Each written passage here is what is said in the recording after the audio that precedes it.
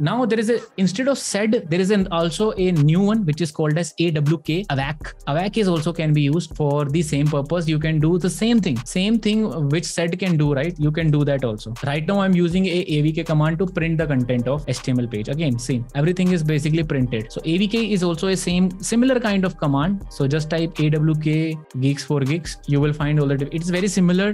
Find and replace command, manipulating the reports, manipulating the datas and everything. Same AWK is also can be used. It is a kind of a scripting language. You can apply multiple things. You can find and replace. You can do multiple things in this. Same kind of thing. But again, please read for more details because I don't know if you will be using the AWK command or not. I have never used it AWK command to be honest. Okay, I'm just giving you an overview. There is a command exist which can basically use to parsing some file and give you the details from a particular file. If you want to filter the file, more filter, you can basically print only this command, count this, right? Everything you want to do, there are options available. The another last important command which we basically will be discussing is called as SCP, Secure File Communication. Now I cannot show you the demo for SCP. Copy from one folder to another but if you want to copy from this machine, I want to copy from my machine to your machine. This should be a secure copy, right? Suppose both of us are into a Linux based system and I know your IP address. I can copy a file from my file to another file by using command line. So there is an option also by using the SCP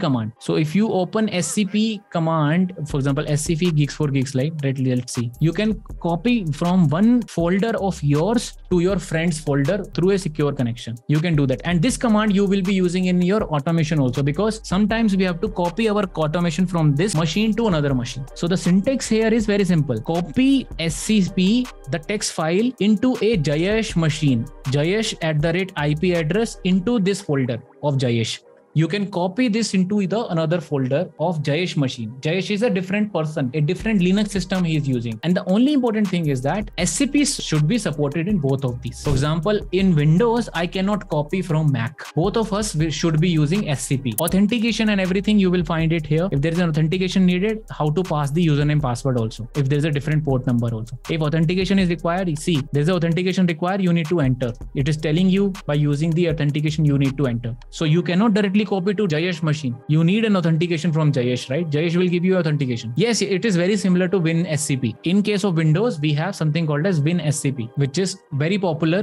FTP file transfer program. Now the last command which I want to discuss is called as SSH, secure shell connection. So SSH basically means that secure connection secure connection. What is it? What exactly it means? Suppose this is you and you are using a machine. Suppose this is a windows machine i am using. There is a server which is a linux server. You can connect to the command line you can connect to this command line by using the SSH. What you can do is you you will get a access to this machine here into your command line I after doing a SSH connection. If you do ls, what will happen? Whatever the files which are here present, which are present here, they will be visible to you here also. And you can copy this file into your local also by using some mechanism of SSH. Got the point? SSH basically means you are getting a access from this machine into this machine. Got it? For example, I am using a Mac, right? If you see, I have also used an SSH connection. There is a Linux machine which is present into my machine only. Through SSH, I am basically connected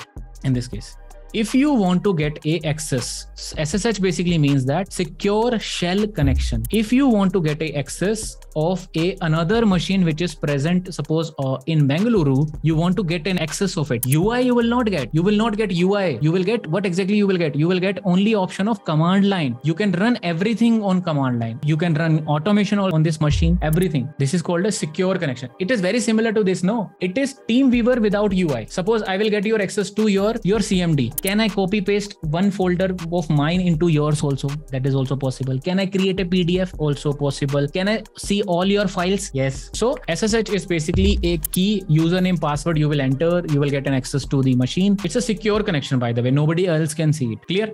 Everyone clear with this point? I hope this was helpful. Thank you guys. I'll see you